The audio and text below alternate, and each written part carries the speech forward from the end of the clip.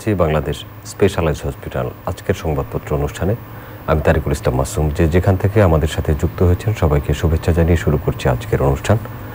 আজ আমাদের সাথে স্টুডিওতে আলোচনার জন্য উপস্থিত আছেন বিশিষ্ট বক্ষ ব্যাধি বিশেষজ্ঞ প্রফেসর ডক্টর ইকবাল হাসান মাহমুদ।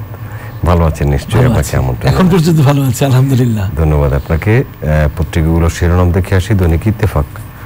আদালতের বারান্দায় লুটিয়ে কাঁদলেন তরুণী শরীয়তপুর। পাপুলের কি হবে? অর্থ পাচারকারীরা দেশ, জাতির শত্রু তালিকা চেয়েছে হাইকোর্ট। সামর্থ্য হারিয়ে পণ্য ক্রয়ে অনীহা ক্রেতার, ভোক্তার হাতেও টাকার সরবরাহ বাড়াতে হবে। ব্যাপক যোগাযোগ নেটওয়ার্কে অর্থনীতিও সচল রয়েছে। তিন সেতু ও স্বাধীনতা চত্বরের উদ্বোধনকালে প্রধানমন্ত্রী মানব জমিন। ঘরে ঘরে করোনা, হাসপাতালে যেতে অনীহা বেড়েছে ফোন কল। বাংলাদেশে ভ্যাকসিনের ট্রায়াল করতে চায় আর এক চীনা প্রতিষ্ঠান। শনাক্ত, দুই হাজার ষাট, মৃত্যু আটত্রিশ। রাজুকে গোল্ডেন মনিরের বিকল্প প্রশাসন। প্রেমিকের কারসাজিতে সিলেটে কলেজ ছাত্রীর নগ্ন ছবি ইন্টারনেটে। দেশ রূপান্তর কার ভুলে? ভাতাবঞ্চিত চারশো শতাধিক মুক্তিযোদ্ধা। স্ক্যানিং ও ক্রোম তালিকায় অসঙ্গতি। ডোপ টেস্টে ধরা পড়ে চাকরি হারানো দশ পুলিশ। শীতে করোনা পরিস্থিতি যাচ্ছে খারাপের দিকে। সরকারি কর্মকর্তাদের পকেটে নিয়ে ঘুরতেন গোল্ডেন মনির। সহযোগীরাও ছিল ভয়ঙ্কর। তিন মামলায় আঠারো দিনের রিমান্ড। একদিনে আটত্রিশ মৃত্যু শনাক্ত দুই হাজার ষাট। যোগাযোগের নেটওয়ার্কেই অর্থনীতির চাকা সচল। ভিডিও কনফারেন্সে প্রধানমন্ত্রী আগুনে পুড়ে বাবা মেয়ের মৃত্যু মা আশঙ্কাজনক। আমাদের সময়। উপহার দিয়ে মন্ত্রীদের মাথা কিনে নেন গোল্ডেন মনির। রাজক ভবনে প্লট জালিয়াতির অফিস। মদতদাতা কর্মকর্তারা অধরা। রাজধানীতে হঠাৎ বেড়েছে মাস্কের দাম। দুই তিন হাজার টাকায় মিলবে মডার্নার টিকা। দেশে করোনায় আটত্রিশ মৃত্যু, শনাক্ত দুই হাজার ষাট। দেশে কারা প্রথম পাবেন টিকা? ভোরের কাগজ, তবুও কেন অশান্ত পাহাড়? পাহাড় পার্বত্য শান্তি চুক্তির তেইশ বছর। ভিডিও ভাষণে প্রধানমন্ত্রী, যোগাযোগ ব্যবস্থা উন্নয়নে অর্থনীতি সচল। মনিরের দুইশো প্লটের তথ্য খতিয়ে খতিয়ে দেখছে রাজুক। নেপথ্যের কারিগরদের শনাক্ত করা শুরু। যায় যায় দিন। করোনা ভাইরাস বিজয় দিবসের কুচকাওয়াজ বাতিল। বারবার ছাড় পেয়েছেন অবৈধ অর্থবিত্তের মালিক মনির। করোনায় একদিনে দশ মৃত্যু বৃদ্ধি, করোনায় চব্বিশ ঘন্টায় মারা গেছে আটত্রিশ জন। চালু হলো হেলথ আইডি কার্ড, স্বাস্থ্যসেবায় আর এক মাইল ফলক স্বাস্থ্যমন্ত্রী। তৃণমূলে কঠোর বার্তা আওয়ামী লীগের। ফের সাইবার হামলার আশঙ্কায় ব্যাংকগুলোতে সতর্কতা জারি। সময়ের আলো, তাপমাত্রা কমায়, সর্দি, জ্বরের রোগী বাড়ছে, করোনার দ্বিতীয় ঢেউ শুরু। এবার বিজয় দিবসের কুচকাওয়াজ হবে না। চব্বিশ পৌরসভা পঁচিশ পৌরসভায় ভোট আঠাশ ডিসেম্বর। করোনার তৃতীয় ঢেউয়ের আশঙ্কা বিশ্ব স্বাস্থ্য সংস্থার ক্যালিফোর্নিয়া ও ইরানে কারফিউ। অনিয়ম হলে প্লটগুলো বাতিল। রাজুক চেয়ারম্যান গোল্ডেন মনির আঠারো দিনের রিমান্ডে বাড্ডা থানায় হস্তান্তর তিনটি মামলা। তিনটি সেতু উদ্বোধন অনুষ্ঠানে প্রধানমন্ত্রী যোগাযোগ অবকাঠামো সচল, যোগাযোগ অবকাঠামোতে সচল দেশের অর্থনীতি। সৌদি যুবরাজকে বাংলাদেশ সফরের আমন্ত্রণ। মানবকণ্ঠ, এটা দেশের সঙ্গে বেইমানি। বিদেশে টাকা পাচারকারীদের বিরুদ্ধে পদক্ষেপ জানতে চেয়েছেন হাইকোর্ট। গোল্ডেন মনিরের দোষর কারা? রাজুক ও গণপূর্তের পৃষ্ঠপোষকদের খুঁজছে গোয়েন্দারা। তিন মামলায় আঠারো দিনের রিমান্ড। যোগাযোগ নেটওয়ার্কই অর্থনীতির চাকা সচল। ভ্যাকসিনের বুকিং দেওয়া হয়েছে প্রধানমন্ত্রী। ট্রাম্প, ফ্রাঙ্কেনস্টাইনের দানব, আদালতের অভিমত। ইনকিলাব, যোগাযোগ নেটওয়ার্ক গড়ে তোলায় সচল অর্থনীতি, ভিডিও কনফারেন্সে প্রধানমন্ত্রী। অর্থ পাচারকারীদের তথ্য চেয়েছে হাইকোর্ট, কারা বিদেশে নেয় টাকা বিদেশে নেয় কারা? সিঙ্গাপুরের চেয়ে বাংলাদেশের অর্থনীতি শক্তিশালী, অধিকাংশ দেওয়ানি মামলায় হারছে রাষ্ট্র। কবে হবে স্থায়ী অ্যাটর্নি সার্ভিস চলেই গেলেন মোহামেডানের বাদল রায়। সংগ্রাম, বাড়ছে দুর্ঘটনা ও আতঙ্ক, ঝুঁকিপূর্ণ লাইন দিয়েই চলছে ট্রেন সৌদির যুবরাজ সালমানকে ঢাকা সফরের আমন্ত্রণ। করতোয়া দেশের পঁচিশ পৌরসভায় ভোট আঠাশ ডিসেম্বর। যোগাযোগ যোগাযোগের ব্যাপক নেটওয়ার্ক গড়ে তুলেছে বলেই অর্থনীতির চাকা সচল প্রধানমন্ত্রী অর্থ পাচারকারীদের পরিচয় জানতে চান হাইকোর্ট বিদেশে পাচারকারীরা দেশের শত্রু এবং জাতীয় বেইমান। আমাদের টেবিলে আসা পত্রিকাগুলো শিরোনাম পড়ছিলাম। মিশ্র ধরনের অনেকগুলো টাকা পাচার নিয়ে কথা আছে গোল্ডেন মনির নিয়ে শিরোনাম আছে করোনা নিয়ে শিরোনাম আছে করোনার তৃতীয় ঢেউ আসতে পারে সেটাও সতর্ক করেছে বিশ্ব স্বাস্থ্য সংস্থা। আমরা করোনা দিয়েই মনে হয় করোনা নিয়ে শুরু করে করা যায়। আসলে সংক্রমণের যে হার হারে এশিয়ায় শীর্ষ পাঁচে কিন্তু বাংলাদেশ। ইন- মানে ভারত রয়েছে এক নম্বরে ইরান রয়েছে দুই নম্বরে ইরাক তিন নম্বর ইন্দোনেশিয়া চার নম্বর পাঁচ নম্বরে বাংলাদেশ। ছয় আছে তুরস্ক সাতে আছে ফিলিপিন। তো এই পাঁচে এশিয়ার মধ্যে এশিয়া এত বড় একটা মহাদেশ তার মধ্যে পাঁচে থাকা খুব একটা সুখকর খবর নয়। এই হচ্ছে এক নম্বর কথা। আর দুই নম্বর হচ্ছে যে এয়ার কোয়ালিটি ইন্ডেক্সের যে যুক্তরাষ্ট্রে যে সারা পৃথিবীতে যে বায়ু দূষণ পরিমাপ করে, তার একেবারে শীর্ষে রয়েছে ঢাকা। স্কোর হচ্ছে, বায়ু দূষণের স্কোর হচ্ছে একশো নিরানব্বই। সেটা লাহোরে হয়েছে একশো ছেষট্টি এবং দিল্লিতে একশো পঁয়ষট্টি। একশো পঞ্চাশ থেকে দুইশো যদি এই স্কোরের মধ্যে বায়ু দূষণের মাত্রা থাকে, তাহলে কিন্তু অনেক ধরনের বায়ু দূষণজনিত রোগ, যেমন ক্রনিক ব্রঙ্কাইটিস থেকে শুরু করে অ্যাজমা থেকে শুরু করে নিউমোনিয়া এবং বিভিন্ন এয়ারবোর্ন ডিজিজে কিন্তু আক্রান্ত হতে পারে। এবং এই এয়ার যে বায়ু দূষণের এই তীব্রতা কিন্তু করোনার জন্য একটা সংবেদনশীল পরিস্থিতি নিয়ে আসতে পারে। সুতরাং এটাও কিন্তু মাথায় রাখতে হবে যে ঢাকার বায়ু দূষণ এই মারাত্মক অবস্থায় পৌঁছে গেছে। এখন এর মধ্যেও কিন্তু এই- শীতকাল আসতে চলেছে। আরও বায়ু দূষণ হয়তো বাড়বে। একশো নিরানব্বই থেকে হয়তো দুইশো ক্রস করে আরও বেশি বাড়বে। সুতরাং এই বায়ু দূষণের মধ্যে শিশু এবং অতি বয়স্করা কিন্তু মারাত্মক একটা বিপর্যয়ের মুখে পড়বে। এটা কিন্তু একটা খুব চিন্তার বিষয় হয়ে গেছে। আমাদের কি জন্য বলছে? বায়ু দূষণের বায়ু দূষণের প্রধান কারণ হচ্ছে যে ইটের ভাটাগুলো ইটের ভাটাগুলো যে একেবারে শহরের কাছাকাছি এবং এরা এত বেশি মানে ধোঁয়া নিঃসরণ করছে এবং প্রচণ্ড যানজট এবং শিল্প কারখানায় কোনো দেশের রাজধানীতে কিন্তু শিল্প কারখানা থাকে না। আপনি কানাডার অটোয়া বলেন আর অনেক যে কোনো একটা দেশের রাজধানী আমাদের গর্ব- বাংলাদেশের গর্বিত রাজধানী হচ্ছে ঢাকা। ঢাকায় দেখা যায় সব কিছু কারখানা কলকারখানা। ঢাকাকে কেন্দ্র করেই সব কিছু গড়ে উঠেছে। সুতরাং বায়ু দূষণে আমরা একেবারে শীর্ষে আছি।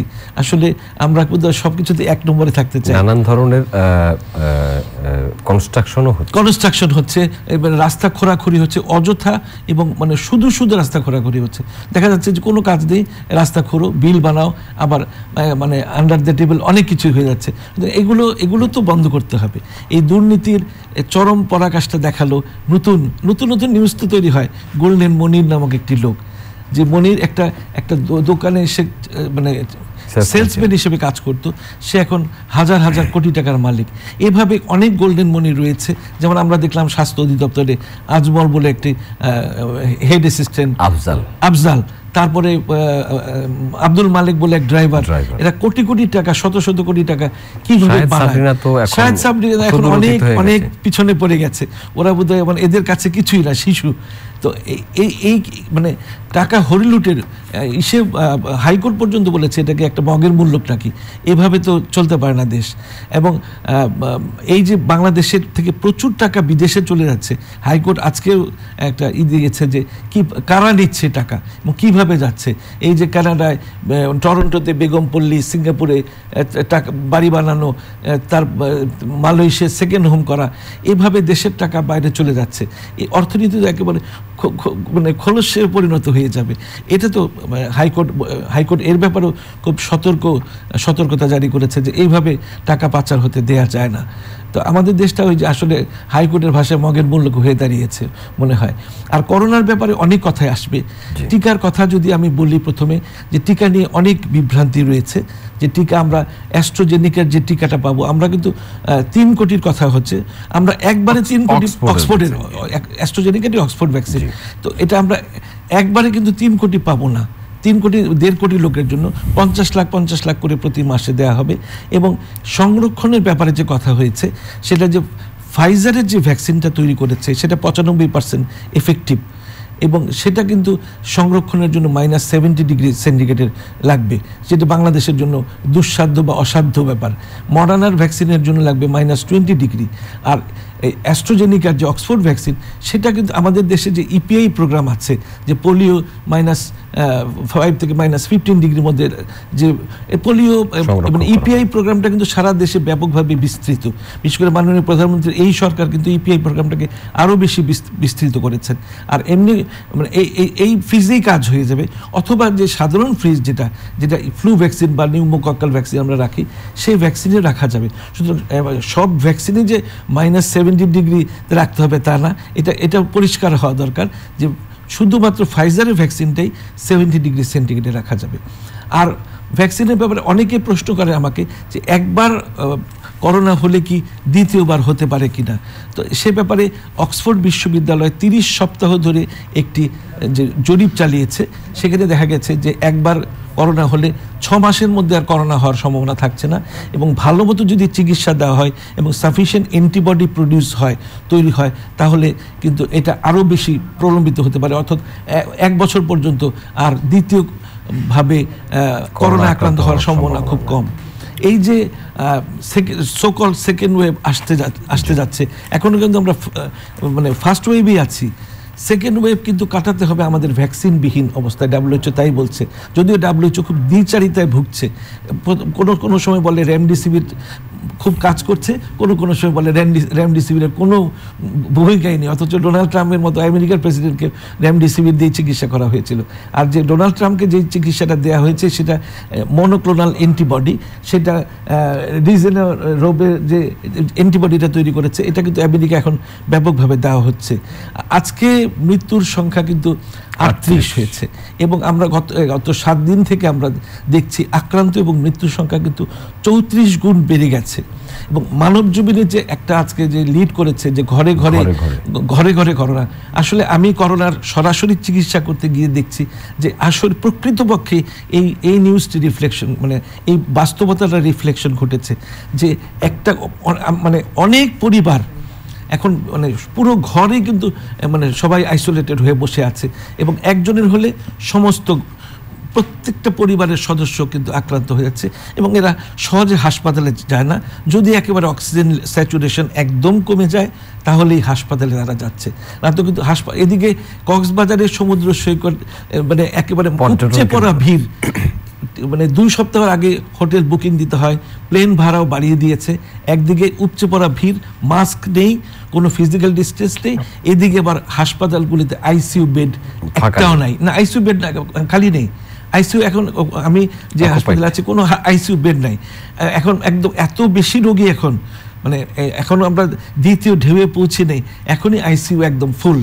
একদিকে কক্সবাজারের সমুদ্র বা পর্যটন কেন্দ্র মানুষের ভিড়ে একেবারে থইথই করছে আরেকদিকে আইসিইউ বেড নেই। তো এইভাবে যদি মানুষ অসচেতনভাবে চলে তাহলে করোনার আমরা দ্বিতীয় ঢেউ কীভাবে মোকাবেলা করব? এখন পর্যন্ত সতেরোই সেপ্টেম্বরে বলা হয়েছিল যে র্যাপিড অ্যান্টিজেন টেস্ট করা। এখন পর্যন্ত আমি বারবারই বলছি অনুষ্ঠানে যে আমরা যে ছত্রিশটি জেলাতে আরটিপিসিআর ল্যাবরেটরি নাই। সেই ছত্রিশটি জেলায় অন্তত র্যাপিড অ্যান্টিজেন পরীক্ষাটা করা হোক। সেটা তাহলে তো আমরা যেখানে পাকিস্তানের মতো একটা গরিব দেশ আটচল্লিশ হাজার থেকে পঞ্চাশ হাজার পরীক্ষা করছে সেখানে আমরা দশ থেকে পনেরো হাজার মাত্র পরীক্ষা করছি। মাত্র আমরা দেখলাম যে সতেরো তারিখে সতেরোই অক্টোবরে সেটা সতেরো হাজার পরীক্ষা হয়েছিল, সর্বোচ্চ পরীক্ষা হয়েছিল। কিন্তু এখন দশ থেকে পনেরো হাজার। এই সেকেন্ড ওয়েভকে যদি মোকাবেলা করতে হয়, তাহলে পরীক্ষার সংখ্যা ব্যাপকভাবে বাড়াতে হবে। ব্যাপকভাবে না বাড়ালে আপনি তো যে রিপ্রেজেন্টেটিভ স্যাম্পল টেস্ট হচ্ছে না, আপনি তো বুঝতে পারছেন না। আর যে, যেই টেস্টগুলো মানে আমাদের দেখানো হচ্ছে যেগুলো মানে মানে পত্রিকা আসছে বা যে স্বাস্থ্য অধিদপ্তরের একজন পরিচালকের সই আসছে প্রকাশিত প্রকাশিত যে রিপোর্টগুলো সেগুলো দেখা যাচ্ছে যে এরা বিদেশগামী এরা কিন্তু বেশিরভাগই বিদেশগামী যারা তাদের করোনা নেই। এবং যারা অপারেশন করবে বা কোনো মানে ডায়ালাইসিস করবে কিংবা এনজিওগ্রাম এনজিওপ্লাস্টি করবে এটা তো কোনো গুরুত্বপূর্ণ অনুষ্ঠানে অংশগ্রহণ করবে। হ্যাঁ এদের পরীক্ষা এরা কিন্তু করোনা মুক্ত আছে। এগুলো যোগ হয়ে যাচ্ছে এটার মধ্যে। শুধু আসল যে রোগীগুলো আছে উপসর্গ সহ রোগীগুলো আছে তারা তো পরীক্ষা করছেই না এখন। পরীক্ষা কেন করতে চাচ্ছেন না এখনও সরকারি সরকারি পর্যায়ে যেগুলো আছে সেগুলোতে দেখা যায় তিন দিন চার দিন মানে অনেক বিপর্যয় পরীক্ষা করতে সরকারি। এখনও সেই বিপর্যয় আমরা কাটিয়ে উঠতে পারেন। এখনও ইজি করতে পারেন এই সরকারি টেস্ট টেস্ট কেন্দ্রগুলোতে। এবং বেসরকারি টেস্টে এত বেশি চার্জ যে সাধারণ মানুষের পক্ষে সেই চার্জ বহন করা সম্ভব নয়। সুতরাং এই এই টেস্টকে যদি আরও সহজ করা না যায় তাহলে অনেক দেশ কিন্তু অনেক ইজি করে ফেলতে ফেলছে আজকাল যে র্যান্ডম স্যাম্পলিং করছে। আসলে ব্যাপকভাবে পরীক্ষা না করলে তো আপনি রিয়েল পিকচারটা পাচ্ছেন না। আপনি কীভাবে সেকেন্ড ওয়েব মোকাবেলা করবেন? সেকেন্ড ওয়েব মোকাবেলা করার জন্য সরকার খুবই স্ট্রং বলছে কিন্তু দেখা আমরা রাস্তাঘাটে কি দেখছি মাস্কবিহীন দুদিন ই হয়েছে মোবাইল কোর্ট বসেছে অভিযান বসেছে। আমি আমার চোখে অবশ্য পড়েনি আপনার চোখে পড়েছে কিনা জানি না। শুনেছি যে মোবাইল কোর্ট ওই ভয়ে ভয়ে কিন্তু মানুষ মাস্ক পরেছে। আবার মোবাইল কোর্ট চলে গেছে এখন আর মাস্ক নেই। তো এই জেলা শহরগুলোতে জেলা শহরগুলিতে চলছে। দিনাজপুরে চলছে। আজকে শুনলাম চাঁদ চাঁদপুরে এক- একান্ন জনকে জরিমানা করা হয়েছে। আপনি মাসুম সাহেব দিল্লিতে পাঁচশো রুপিস জরিমানা ছিল। সেটা বাড়ি এখন দু হাজার রুপিস জরিমানা করা হয়েছে।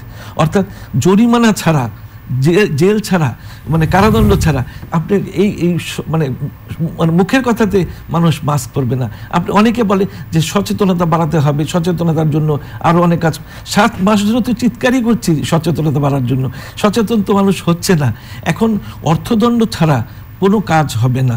অর্থদণ্ড দিন পাঁচশো টাকায় করুন পাঁচশো টাকা জরিমানা মাস্ক না পড়লে পাঁচশো টাকা জরিমানা।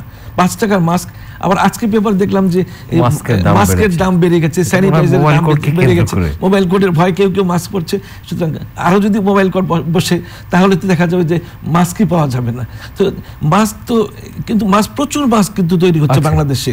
কিন্তু এরা এই যে অসাধু চক্র যখন আপনি মনে আছে মাসুম সাহেব যে আট তারিখে যখন আটই মার্চে যখন প্রথম ডিক্লেয়ার করা হলো যে করোনা রোগী পাওয়া গেছে নয় তারিখ থেকে কোনো মাস্ক আর খুঁজে পাওয়া যায়নি। কোনো স্যানিটাইজার কোনো দোকানে ছিল না। ওরা স্টোর করে ফেলেছে। এই যে কুচক্রি মহল যেটা আছে আবার এখন স্টোর করা শুরু করে দিয়েছে। সুতরাং এদের হাত থেকে আমরা কবে মুক্তি পাবো? মানুষ বিদেশের মানুষ কিন্তু মানবতা দেখায়। যে না রোজার সময় আমরা দেখি যে জিনিসপত্রের দাম কমিয়ে দেয়। আমাদের দেশে রোজার সময় জিনিসপত্রের দাম অনেক গুণ বেড়ে যায়। এখন মাস্কের যখন প্রয়োজন হবে যখন স্যানিটাইজারের প্রয়োজন হবে তখন দেখা যাবে এগুলোর দাম অনেক বাড়িয়ে ফেলেছে। আর টিকার কথা যদি আসি তাহলে টিকা তো অনেক দেরি আছে আমাদের টিকা পেতে পেতে পেতে অনেক দেরি আছে। কারণ আমরা এ, আমরা জানি যে মানে ফিফটি ওয়ান পার্সেন্ট কিন্তু অলরেডি বুকিং দিয়ে ফেলেছে ধনী দেশগুলো। আমরা সবাই মানে পৃথিবীব্যাপী টিকা পেতে পেতে মানে চৌষট্টি লাগবে দু হাজার বাইশ সনে দেখা যাবে যে সিক্সটি ফোর পার্সেন্ট লোক টিকা পেয়েছে। সুতরাং দু বছর অপেক্ষা করতে হবে। কিন্তু টিকা এমনই একটি গুরুত্বপূর্ণ জিনিস যে একসঙ্গে যদি ডাব্লিউএইচও বলছে, সবাই বলছে, এবং জি টোয়েন্টি যে সামিট হয়ে গেল, সেখানে বাদশাহ বাদশাহ বলেছে সৌদি আরব বাদশাহ, যে সবাই যদি একসঙ্গে টিকা পায়, সেই ব্যবস্থা করতে হবে। যদি সবাই একসঙ্গে টিকা না পায়, তাহলে কিন্তু একটি দেশ যদি মানে বাকি বাদ রয়ে যায়, টিকাবিহীন তাহলে কিন্তু ওখান থেকে আবার অন্য দেশে আবার ছড়িয়ে পড়বে। কারণ এখন তো মানে, পৃথিবী তো গ্লোবালাইজড এক দেশে মানুষ এক দেশে বসে থাকবে না। এক দেশ থেকে অন্য দেশে যাবে আবার ছড়িয়ে বেড়াবে। সুতরাং টিকা যত বেশি মানে দেওয়া যাবে মানুষকে তত বেশি কিন্তু মানে আমরা আরেকটা খবর পড়েছি যে করোনার তৃতীয় ঢেউয়ের আশঙ্কা করছে এটা বিশ্ব স্বাস্থ্য উন্নত দেশে যেমন ইরানে। ইরানে তৃতীয় ঢেউ অলরেডি চলছে। ইউরোপের ইউরোপের দিকে দেখছি কি আমরা যে দ্বিতীয় ঢেউয়ে একেবারে তছনছ হয়ে যাচ্ছে ইউরোপ। আমেরিকা তছনছ হয়ে গেছে। আমেরিকা তো আপনার কয়েকটা স্টেটে কারফিউ দিতে হয়েছে।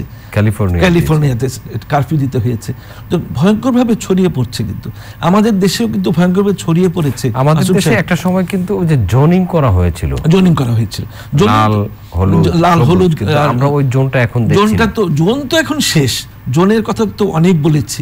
জোনিং সিস্টেম ঢাকাটা তো পুরোটাই কিন্তু এখন রেড জোন এখন ঢাকাকে যদি আপনি দেখেন যত মৃত্যু হয়েছে যত সংক্রমণ হয়েছে তার বেশিরভাগই কিন্তু ঢাকাতে হয়েছে।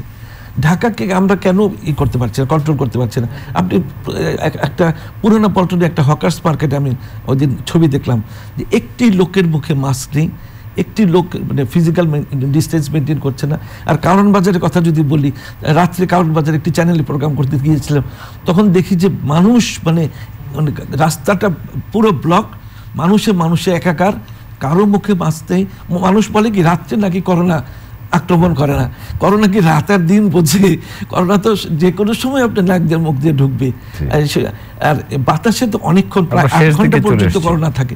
আমাদের সুরক্ষা এখন যদি ব্যাপকভাবে না করি তাহলে তো আমরা সচেতন আর কবে হব?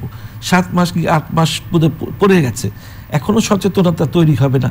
তাহলে তো আপনার আমি বারবার যে কথাটা বলি যে অর্থদণ্ড দিন জায়গায় জায়গায় মোবাইল কোড বসান এবং ফিক্সড মোবাইল কোড, একদিন দুই দিনের জন্য মোবাইল কোড না এটা একটা মানে অনেক দিনের জন্য মোবাইল কোড বসান মানুষ ভয় পায় মানুষ মাস্ক পরে। আর পনেরো দিন অন্তর অন্তর কিন্তু ওই যে আমরা যদি মাস্ক পরি পনেরো দিন মাস্ক পরবো না সেটাও কোনো কার্যকর না। সব সময়ের জন্য মাস্ক পরতে হবে। আমি বলি ধন্যবাদ। দু হাজার একুশ সন পুরোপুরি মাস্ক পরে থাকতে হবে। ধন্যবাদ ইকবাল হাসান মাহমুদ আমাদের সাথে থাকার- জন্য। দর্শক আপনাদেরকেও ধন্যবাদ। এতক্ষণ আমাদের সাথে থাকার জন্য আগামী অনুষ্ঠান দেখার আমন্ত্রণ রইল। দেখা হতে পারে সেই অনুষ্ঠানে। ততক্ষণ ভালো থাকবেন সবাই। আপনাদের সবার জন্য শুভকামনা রইল।